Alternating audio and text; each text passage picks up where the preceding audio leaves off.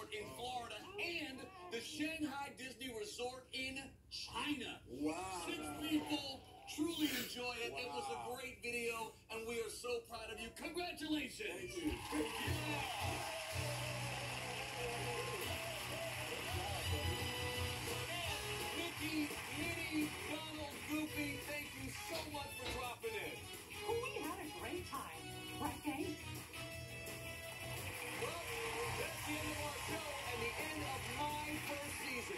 feeling the